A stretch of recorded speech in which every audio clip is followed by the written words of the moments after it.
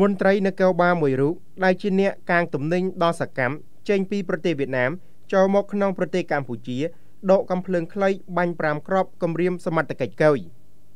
យោងតាមភ័យផ្លូវការរបស់អគ្គនាយកដ្ឋានកុយនៅរដ្ឋកោកម្ពុជាបានបញ្ជាក់ថា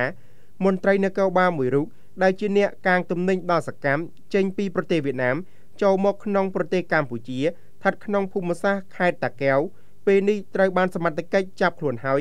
ដោយកំពុងបន្តនីតិវិធីកសាងសំណុំរឿងនិងគ្រងបញ្ជូនទៅកាន់សាលាដំបងខេត្តតាកែវហើយនៅថ្ងៃទី4ខែកក្កដាឆ្នាំ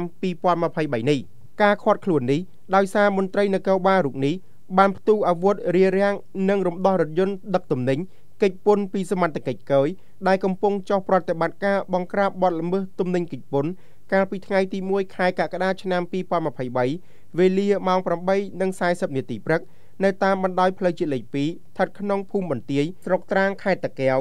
មានករណីរារាំងការអនុវត្តច្បាប់របស់មន្ត្រីសាធារណៈនិងប្រើប្រាស់អាវុធខុសច្បាប់បានកើតឡើងដែលបង្កឡើងដោយបុរសម្នាក់មានឈ្មោះណប់សម្បូរអាយុ31ឆ្នាំជានាយរងការិយាល័យនគរបាលប្រឆាំងបទល្មើសសេដ្ឋកិច្ចនៃស្នងការដ្ឋាននគរបាលខេត្តតាកែវមន្ត្រីនគរបាលរូបនេះបានជិះរថយន្តមួយគ្រឿង Mark Ford Ranger Vertra ពណ៌ស ពាក់ស្លាកលេខភ្នំពេញ2បេវាយ9899ហើយធ្វើសកម្មភាពរារាំងបិទគូតនិងដកកំភ្លើងខ្លីបាញ់ចំនួន5គ្រាប់ដើម្បីគម្រាមដល់សមត្ថកិច្ចកុយដែលកំពុងចោទប្រតិបត្តិការបង្ក្រាបបទល្មើសទំនិញកិច្ចពន្ធនាំចូលប្រើកំបិតចាក់ប្លន់យករថយន្តអាល់ផាតលើផ្លូវលបឿនលឿនសមត្ថកិច្ចបានឲ្យដឹងថាកាលពីថ្ងៃទី2ខែកក្កដាឆ្នាំ2023 វេលាម៉ោង1:30នាទីរំលងអាត្រៀតមានប្រជាពលរដ្ឋម្នាក់ដែលជាថៅកែរបស់ជនរងគ្រោះបានរាយការណ៍មកថា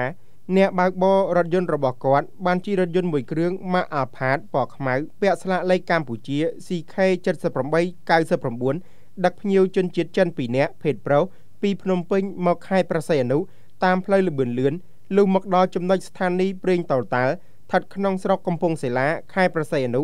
ស្រាប់តែជនជាតិចិនទាំងពីរនាក់បានហៅឲ្យគាត់ឈប់រថយន្តនិងបានព្រួតវាយនិងប្រើកាំបិតចាក់គាត់ប្លន់យករថយន្តរួចបើកកិច្ចខ្លួន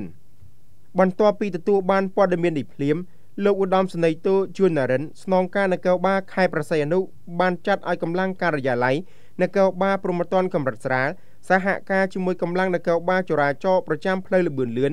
និងខាងក្រុមហ៊ុនផ្លូវលបឿនលឿនធ្វើការខាត់រថយន្តខាងលើ និងជនសង្ស័យចំនួន2នាក់ភេទប្រុសជនជាតិចិននៅចំណុចបញ្ជោបងប្រាក់ស្រុកស្ទឹងហាវខេត្តប្រស័យហនុ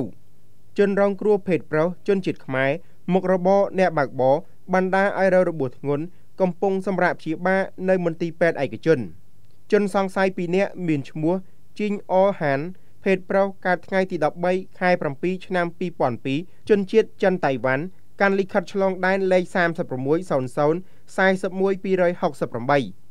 2កាំងជីនយ៉ាងឈ្មោះក្នុងលិខិតឆ្លងដែនថៃភេទប្រុសជនជាតិចិនជនជាតិចិនតៃវ៉ាន់សញ្ជាតិថៃ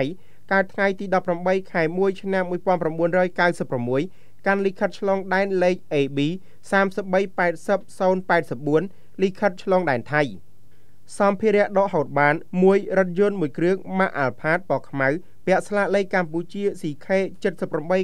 7899និងសម្ភារៈមួយចំនួន